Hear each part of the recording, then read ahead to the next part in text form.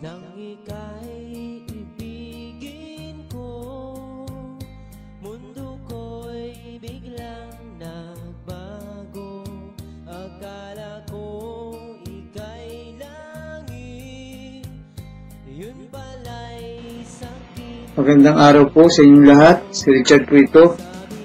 I will uh, show you how to buy stocks when the market is closed. So, the market is open on Monday to Friday, 9.30 a.m. to 3.30 p.m. So, may lunch break po yan. So, hindi po pwede tayong order ng ng OH order sa lunch break. At saka po, uh, after uh, trading hours 3.30 to 5 p.m. Hindi po pwedeng mag-buy ng OH order. So, punta na po tayo sa website ng www.coldfinancial.com Click nyo po yung code. Then, type nyo yung MBT. Example. Click po natin, MBT. Then, click ang code lalabas po ito. Ito po yung uh, price. Last price 80.85, 80.95. Ito po yung ating bibiling presyo para mabilis nating mabili ito. Yung 80.95. So pagkatapos po niyan, uh, check nyo muna po yung portfolio nyo, kung magkano yung buying power. So, buying power is 3,255. So, mga 30 shares po makuha nito. Uh, 30 shares po, mga 30 shares. Ang board lot po ng uh, MBT is 10 share. So, 30 share.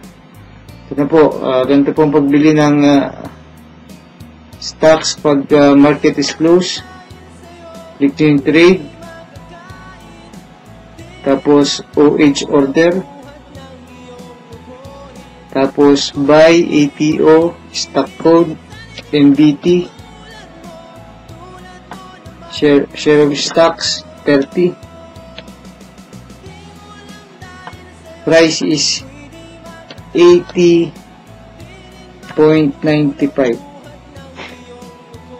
3.95 preview order. Yun po. So, type yung uh, password.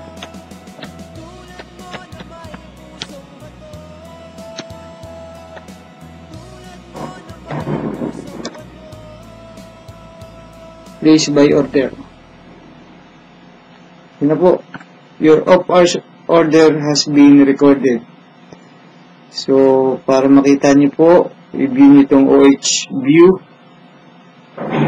Yan po yung order nyo. So, bukas ng umaga, bibili ng call financial nyo yan.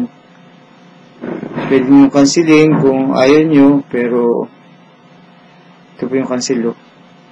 Okay na po yun. Pero lang kadali. Checkin nyo yung portfolio ulit. Yan na po. So, 3255, mababawasan ng 2,000. So, yan po. And bye-bye. And good luck. Happy investing. Close na muna. Bye-bye.